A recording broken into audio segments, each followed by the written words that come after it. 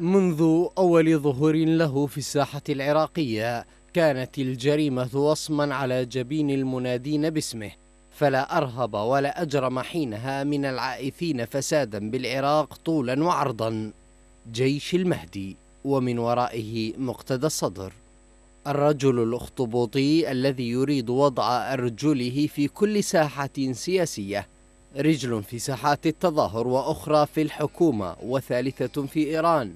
ورابعة في الخليج وخامسة في أمريكا وكأنه يريد أن يمسك بخيوط جميع اللعبة فلا تمر مرحلة عصيبة من عمر العراق إلا وهو جزء منها ومؤثر فيها.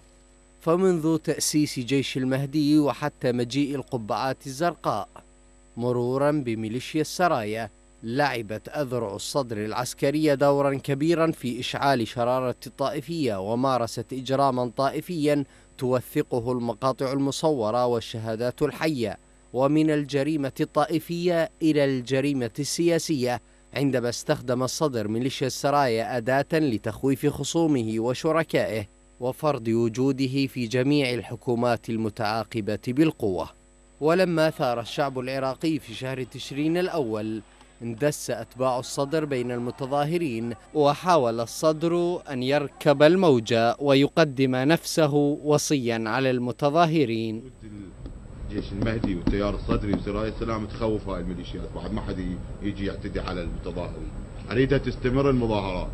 يا شنو ما نريد التيار الصدري؟ ما تريدوا التيار الصدري؟ ونقعد ببيتنا نسكت لكن المحن كما يقال تكشف معادن الرجال. فما إن خالف المتظاهرون هواه حتى كشر عن أنيابه وأطلق عصابات القبعات الزرقاء ترهب المتظاهرين وتهددهم.